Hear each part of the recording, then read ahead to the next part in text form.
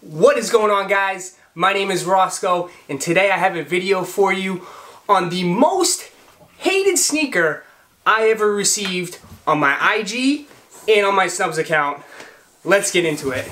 So I had people calling me a hype beast. I had people calling me, oh, it's a dad shoe. That shoe is a chunky sneaker. That's ugly.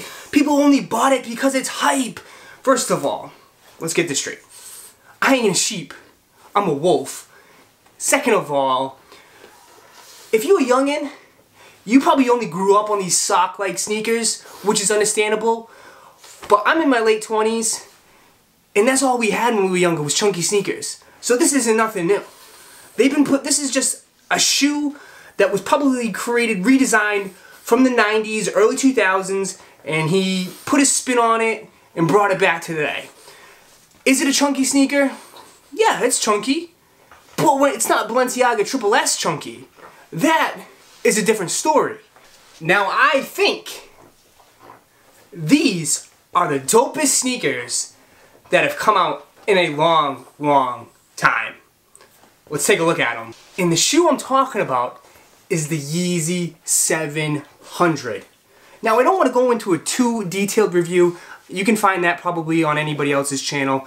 I mean, the shoe has been out for a while now, but I want to give you a quick breakdown of what I think about it. For $300, scratch that, for 320 because you got to include shipping, this shoe is great quality. I mean, you got the suede up on the top, the leather is soft and supple. You get the 3M hint from the toe tab right here and in the front with the lace lock. You also get the brand with the three stripes. You get it 3M right there that you can't see with flat only with flash only. You also get the 3M on the orange, which I think is dope, and you get 3M on the inside right here, these two little circles. A nice little touch I think he added, which was great. What I love about this shoe right here is that it simply just reminds me of my childhood. And I could be a little biased on that. Hey, so be it. But this reminds me of those days that I was posted up at the mall on Friday nights, at the arcade, you know, putting my quarters down until closing time. You know, we didn't have Xbox Live back then. I think it just grew, it just started. So when you wanted to play video games against people, you settled it at the arcade playing some MKX on the big screen or something like that. But I like this shoe. You know, I, I love the colors. I love the hint of the, the, the yellow laces. He's doing big on this color too, by the way. He's got some V2s coming like this, in like this, uh, that's dropping I think in June. So this is a big color for him. Um, but I like how it just, it, it just breaks up the shoe big time. And I love the orange hints. Orange is my favorite color. It's such a dope little, you know, little speck on it. It's different, it's unique. So what gets me upset about this sneaker is y'all trash fits that you guys put together with the sneaker. My motto is simple. Don't let the shoes or the clothes wear you. You wear the clothes. So now I understand why y'all put your hands on your face like that because some of the fits are straight up trash. They're all they're all just brand named, all that crap. So this is what my channel is all about. I'm gonna put some style videos together and we're gonna style this out. And I want you to rate in the comment section below which one was good, which one y'all liked, which one was whack. I need to know, because I'm curious. My style is kind of loud and different. I like to stick out. That's just who I am. So, please, in the comment sections, let me know. And if you like the video, please smash that like button and subscribe. Putting out two videos out a week. I like men's fashion, streetwear, and that's what I'm be digging in the most. So, thank you for watching. Peace.